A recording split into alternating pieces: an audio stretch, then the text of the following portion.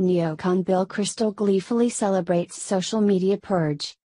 Neocon Bill Kristol has expressed his utter delight at the decision to deplatform Alex Jones from all major social media websites. Goodbye, Alex, and good riddance, Kristol, founder of the Weekly Standard, said in a tweet. Kurtnimmo.blog reports. Jonathan Last, the editor of the Weekly Standard Digital Edition, after defending the removal of Jones, made an interesting comment. The conservative view isn't just that communities have the right to create standards, we have always believed that there is wisdom and virtue in doing so. If we didn't, then we'd be libertarians. Poor educated fool. Libertarianism is all about ethical standards, primarily the ethic that one individual, or the state, doesn't have the right to use physical violence against another individual or a group of individuals.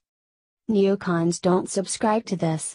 In fact, they believe violence is the preferred tool for dealing with stubborn and recalcitrant foreign leaders and regimes that reject the neoliberal economic order. The cost for imposing this order, cheered on by Kristol and his co-conspirators, cost a million and a half human lives. Bill and his post-Trotskyite comrades declared this as a victory and urged the same treatment for Iran, Libya, mission accomplished, Syria, 500,000 dead, Afghanistan, it is reported Trump is looking for a way out, and much of Africa where murderous Saudi Wahhabi-inspired terrorists kill hundreds, including school children. Imagine the shoe on the other foot. If Bill and his comrades were ejected from social media there would be a loud hue and cry, and, of course, the accusation that social media is run by anti Semites. Back in 2003, as the above mentioned invasion was unfolding, journalist Jim Lobe wrote about the neocons and their spiritual leader, Leo Strauss. Strauss is a popular figure among the neoconservatives. Adherents of his ideas include prominent figures both within and outside the administration. They include Weekly Standard editor William Kristol, Lobe wrote.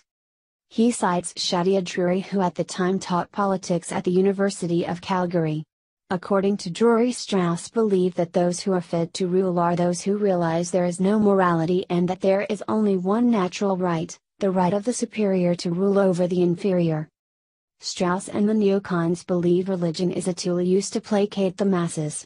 Strauss viewed religion as absolutely essential in order to impose moral law on the masses who otherwise would be out of control. Lobe writes. Imposing moral law, sort of like the Imams in Iran. Or the Taliban. The people are told what they need to know and no more, says Strauss analyst Robert Locke. Drury writes, Leo Strauss and the American Right, St. Martin's 1999, that the Straussian neocons believe that without their political deception and lies the nation will fall into anarchy and nihilism. Unlike the widely excoriated libertarians, the neocons have a friend in Thomas Hobbes.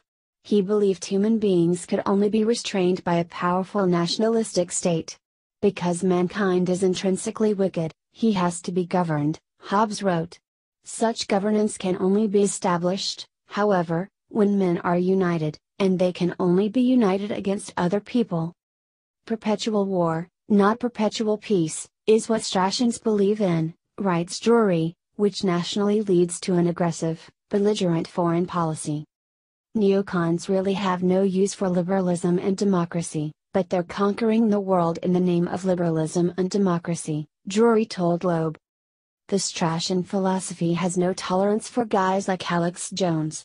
In its universe of funhouse mirrors distorting reality there is no room for serious opposition. It is quite natural for Bill Kristol and the neocons to celebrate scrubbing Alex Jones and libertarians from social media, Although Jones is not a libertarian, his lawyer describes him as a performance artist. More celebration is likely as the social media giant